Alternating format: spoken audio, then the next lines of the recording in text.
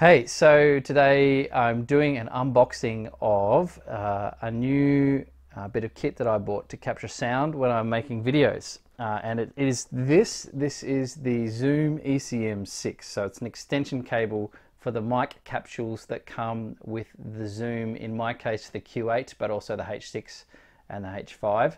So um, I need this because when I'm shooting my banjo under the bridge videos, uh, I want to actually have metering for my audio uh, that I use my Zoom Q8 for away from the performer. Uh, and also we're shooting very close to the water. We're under a bridge after all and uh, I want to be able to make sure that the, the whole recorder is quite safe.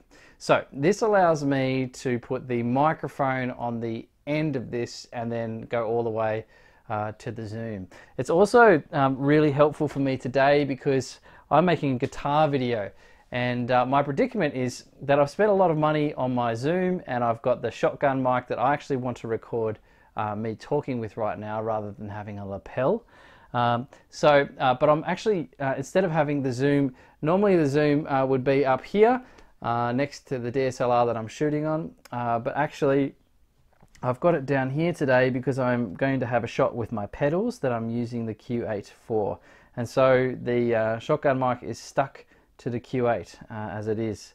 Also, just out of interest, uh, for these guitar videos, I've got my Audio Technica, uh, I think it's um, 4033A, uh, which is a condenser mic on my amplifier there, ready for my guitar later. So I need to get that uh, shotgun mic up uh, to where you'd normally have some sort of video mic uh, up the top here. So how are we going to do that? Well, that's where the extension cable comes in. So let's uh, unpack what it is and uh, uh, unpack the box and get it set up.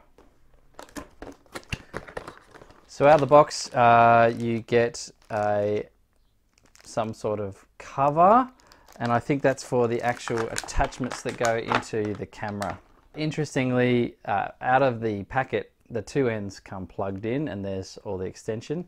Now on here is a uh, cold shoe mount or ready to go onto a cold shoe mount.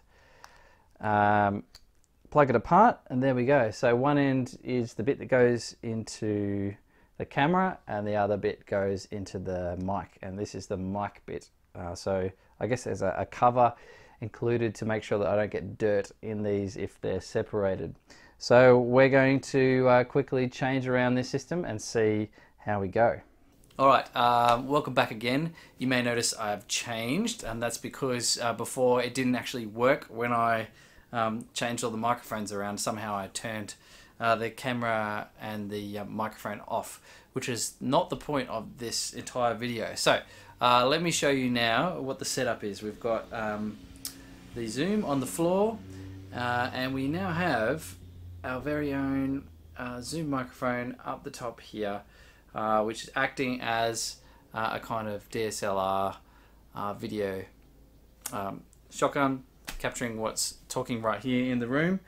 And um, yeah, so uh, pretty good setup. Um, it's not portable, um, but that's not that's fine. I don't need it to be portable because if I'm recording banjo under the bridge stuff or stuff in my room, I have everything set up uh, a long way away. So that's the, uh, the review of the extension cable. Six meters long and you can buy a three meter long one and I bought it for about 130 Australian dollars with free delivery.